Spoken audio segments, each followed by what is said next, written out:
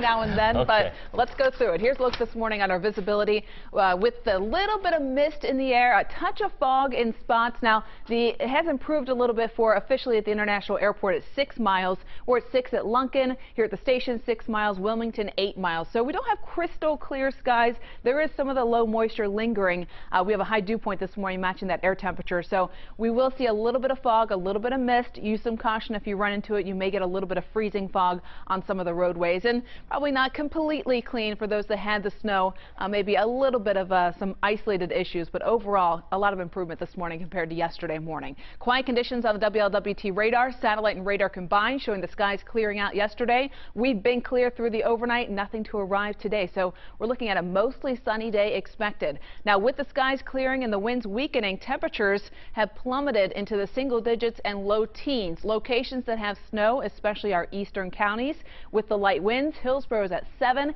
Peebles has dropped off to 4 degrees this morning. We're at 9 in Harrison and 6 in Batavia. So that snow-covered ground helping those temperatures drop even lower in spots. Vevay, Indiana at 9 degrees. So some cold spots out there for air temperatures.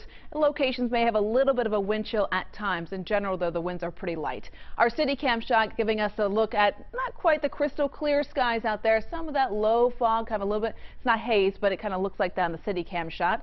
We have the visibility right now 6 to 7 miles, a south wind at 3, the air temperature 11, and that's what it feels like with the wind chill at 11 degrees. Temperatures have been dropping through the night. We started late last evening in the upper teens, falling at 14 degrees for a couple of hours. Now we've dropped off to 11.